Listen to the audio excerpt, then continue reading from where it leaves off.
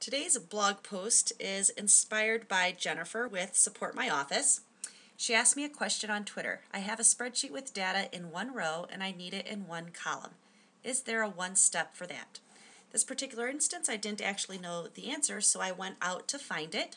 I found it and I thought that I'd share it here with you in this video and blog post.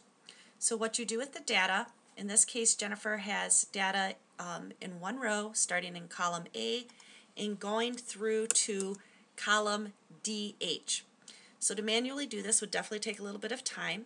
So in this case, all you have to do to get the data to show up here in column A is click the row. You're going to right click, copy, go down to where you want the data to show up, right click, paste special, hit transpose, and click OK.